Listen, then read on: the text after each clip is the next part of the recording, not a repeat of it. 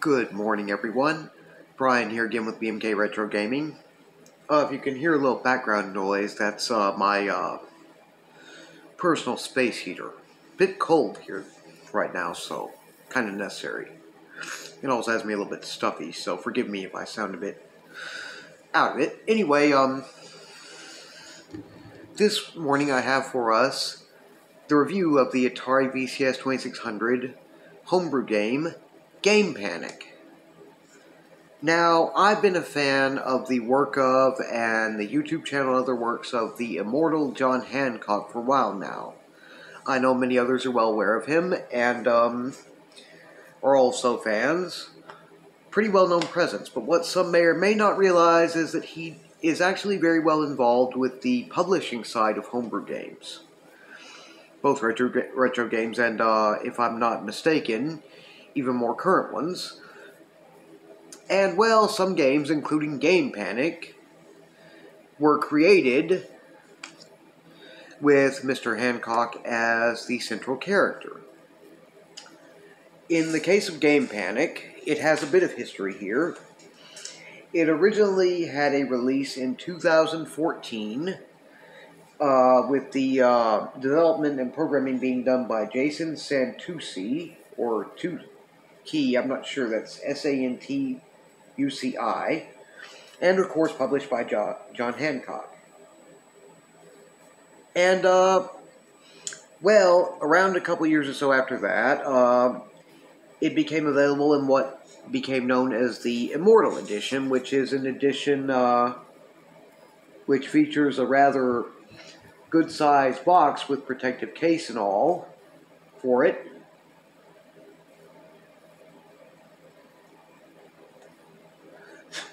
Excuse me, trying to clean up a little bit of something here. Uh, there we go.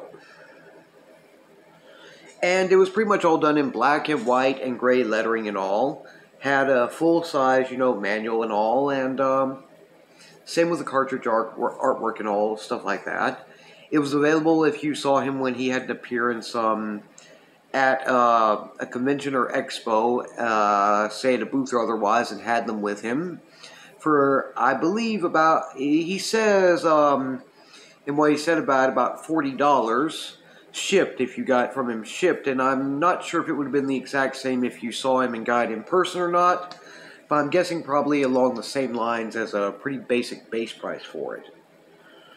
Anyway, is one of, um, along with two other games which we'll go over later, it was actually re released in uh, re more recently in 2022. Again, uh, same by Jason Santuci or Tukey, uh, published by John Hancock, and artwork by Corey Kramer. Anyway, um, one thing about the uh, Immortal Edition, the one I was just mentioning from back um, a little after the first release in 2014, was the proceeds, or I forget if it was part of all of them, went to what was known as Cowlitz Gamers for Kids, which, if I understand it correctly, either donates to or is actually a part of the Children's Justice and Advocacy Center. Um, anyway, the game is a 4K game ROM size for the game. Uh, for the game, so it's not huge, huge. It's pretty reasonable. And um, here I have the copy of the game this is the 20, uh, 2022 release. Unlike the original that had black, white, and gray for all the art and everything on box, uh, manual, uh, cartridge label, etc., this one's in color, looks a bit nicer. And um, certainly this does look something like an image of John Hancock. And uh, we can see here it says John Hancock and Jason Santuci, or Tukey, I, I don't know pronounce it. And of course it says Game Panic here on the top label. Basically, these are made, if I've understood right, usually from recycled combat, combat or other common cartridges from the original library that are plentiful. And uh, it comes also, it has um, your basic uh, contact protector protector piece here. It's pretty nice. Now, as opposed to the original um, release and the um, Immortal Edition, which had a full-size, full-color manual, this one came with basically just a uh, fold-out instruction uh, sheet or fold-out instruction sheetlet, and it's pretty nice. Um, I'm not sure if this is uh, something that was done automatic. It looks like it was actually written. Uh, looks like Mr. John Hancock actually saw, autographed it or decided to put his own John Hancock on it for me. And forgive the use of the uh, stupid pun there, but I take the opportunities where I get them. Gotta forgive the glare there because that's coming in pretty bad. There we go. Oh, here we go. Let me see if I can. Okay, there we go. A little bit better there. See, there's the signature. Anyway, it lays us out the story, which is basically um, that John's game room has been overrun by sp spiders and water leaks. To further complicate matters, his garage door has gone on the fritz and will only open periodically. Help him dash to the rightmost exit with a handful of games while avoiding falling water and creepy critters. And basically it has a easy difficulty setting and a hard one, which we'll get to in a sec.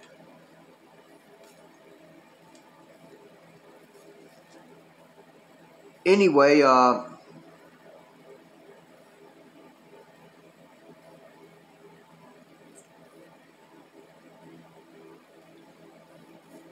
Oh, and of course, here's one important part scoring.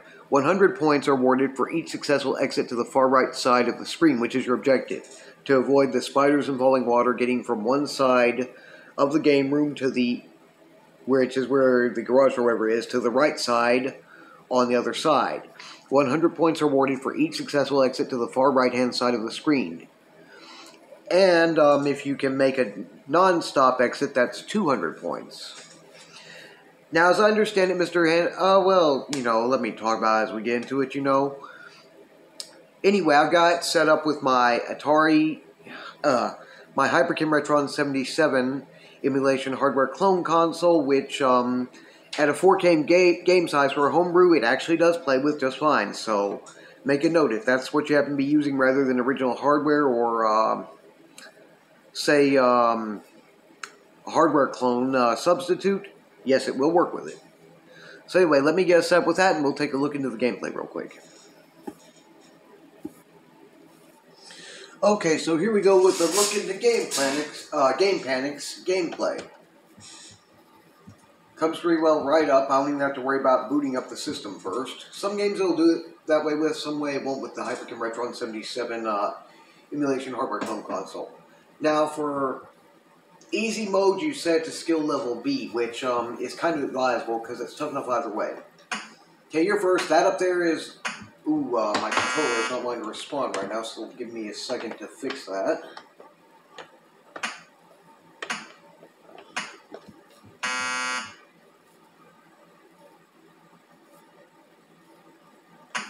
Okay, there we go. Let me go ahead and reset this thing.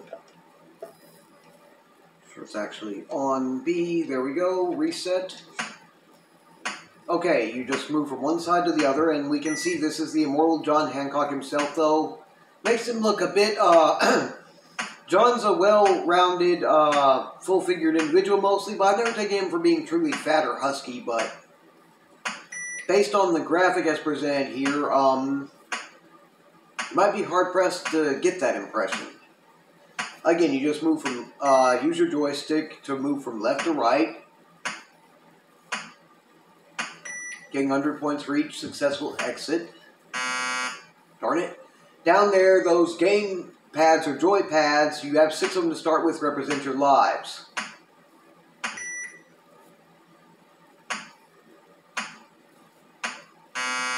Darn it.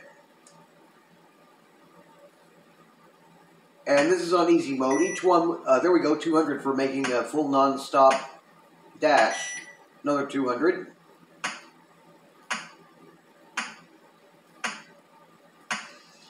From what I understand, um, from watching a video on this from earlier on, the gameplay was either adapted from, uh, based on, or made to imitate the uh, gameplay of, uh, or gameplay style of a Game & Watch game. You know, like Nintendo used to have, which you can kind of see that. I mean, it's in black and white, but in that it's rather nice. And uh, it's a very simple game with very simple gameplay, which for an Atari VCS 2600 game, uh, homebrew or not, that's perfectly fine. That's what we usually expect with these types of games for the most part. Uh, of course, the more rounded looking objects are the water drops, and the other more fuzzy looking ones are the spiders. And there's not much else to it but just moving from the left side of the screen to the right side as best as you can while avoiding the obstacles. And if you can do it non-stop, getting the 200 points rather than 100. So again, very, very simple gameplay, but still plenty of fun and interesting in its own way, so can't fault it. Again, it's um, pretty acceptable for an Atari VCS 2600 game, whether homebrew or not. I'd say this would actually be pretty fun in a way for, you know, like high scoring or high score challenge competitions because you have a very simple objective and uh, very simple means to get to it, so seeing how high of a score you can get on it would be pretty fun. I think personally, so far, I've been able to get up to somewhere in the area of about 5,000 at maximum on easy mode.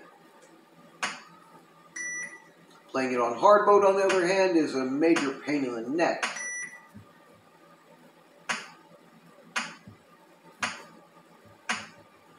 Well, it could be far worse than it isn't, but...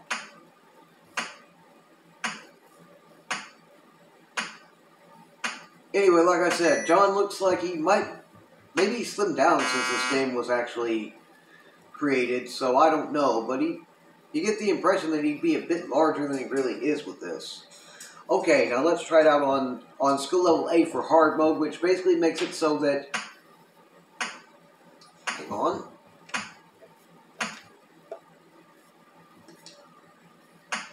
Sometimes it does that, where it doesn't present me with a... Uh,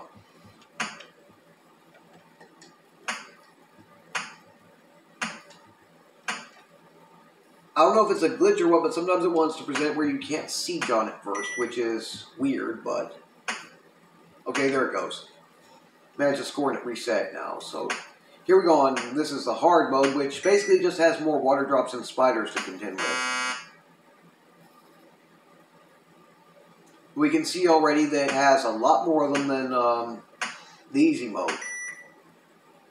Oh, and the background is kind of meant to represent, you know, kind of a mock-up of what John's game room would be like.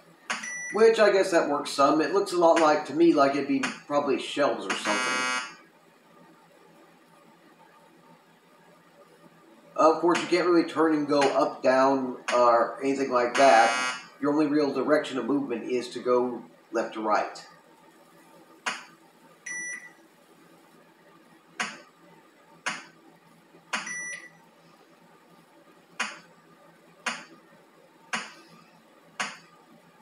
Of course, you can retreat too, if needs be.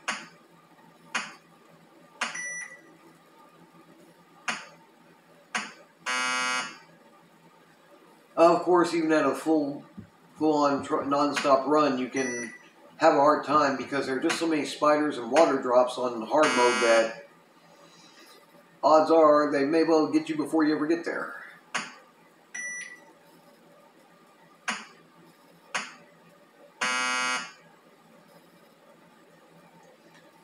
And they did. I'm dead again. 3,100 points on easy mode was my top. Uh, top score. Anyway, I think you guys pretty well get the idea with the gameplay at this point. Okay, so that was Retro Game Panic. A uh, an Atari VCS 2600 homebrew game published by and starring the immortal John Hancock. Is it pretty good? I think so. Like I said, uh, was saying during the gameplay, it's kind of either based on, uh, adapted from, or at least mo modeled after the uh, gameplay style of some Game and Watch games like Nintendo used to have. So it's simple, easy gameplay, perfectly acceptable for uh, an Atari VCS 2600 homebrew game or otherwise. And um, again, it's uh, one of those where you have a very simple objective and um, very simple gameplay and would be perfect for challenging yourself at high scores or, say, perhaps playing in a high score challenge competition. So, yes, it's a very good game. And uh, let's be honest here, just that it features the immortal John Hancock besides being published for him, by him, makes it kind of notable because he is quite a presence in the uh, video gaming and retro video gaming communities, both on YouTube and elsewhere, so that in itself is a big point. Uh, now, how can you get your hands on a copy of this one? Well, as with the original release and the one, you know, that was done in uh, the Immortal Edition, usually you would have to see Mr. Hancock when he's got a booth or is a presence at a gaming export convention and get one that way. However, when I was talking to him about, he did the video about the re-release of these games and this game and two others in 2022, and I let him know that, you know, well, I really don't have means to travel beyond here where I am, Nacogdoches, Texas, nonetheless, to see him at a retro gaming export convention. He basically gave me information to reach out and get in contact with him and arranged uh, for me to pay for a, copy to be uh, some uh, the copies of the games I wanted to be shipped out. Now, he'll make it pretty clear he doesn't really run a store or anything because it's pretty int- um, resource consuming and intensive, and um, so you're not going to find it that way necessarily. Again, you usually have to run into a convention or expo, but if you're someone like me who has this uh, special conditions where you just can't make it to do it that way, well, I'm not going to leave you guys with his personal contact information or anything. Uh, I didn't ask to do that, and I wouldn't have. But keep an eye on stuff here on YouTube, on Facebook, or uh,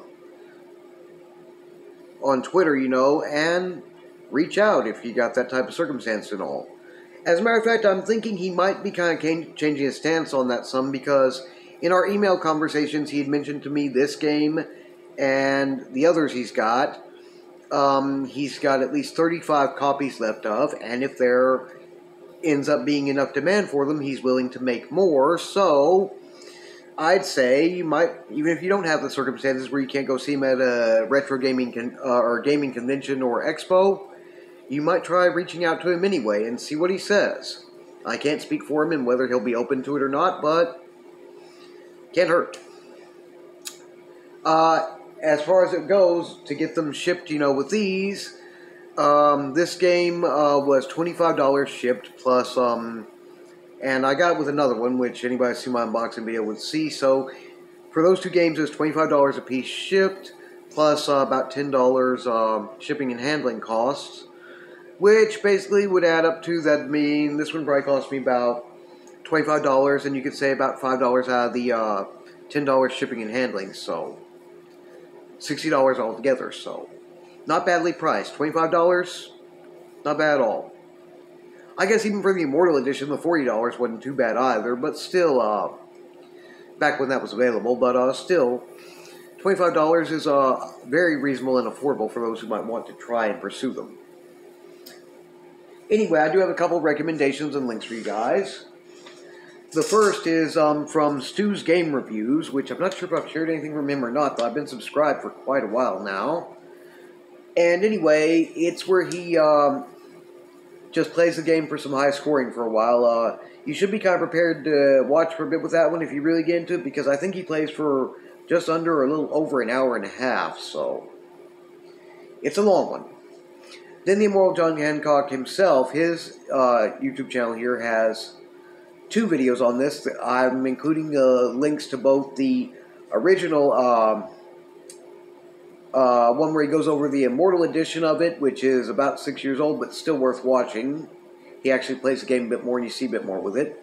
And then there's uh, the one that's more recent here, where he, uh, from just this last uh, early winter or late fall, I believe, where he talks about the 2002 re-release of this and two other games that he's published. So I will leave recommendations and links for you guys to both of those.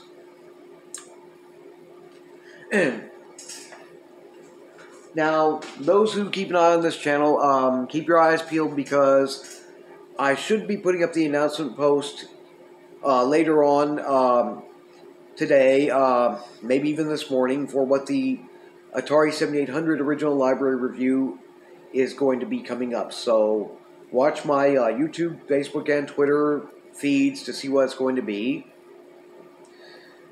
Big shout out to my Atari 2600 Facebook group. Love you guys over there, and hopefully you'll be getting this little video upload before too terribly long this morning. Weather's been kind of nice here, it's supposed to stay that way, so I don't think it'll take too long. Otherwise, if you enjoy this channel's content, please feel free to like, share, and subscribe. And please don't hesitate to leave any questions, comments, or suggestions down in the comment section below. You guys take care, have a wonderful Sunday, and hopefully I will see everyone back here again on this coming Wednesday.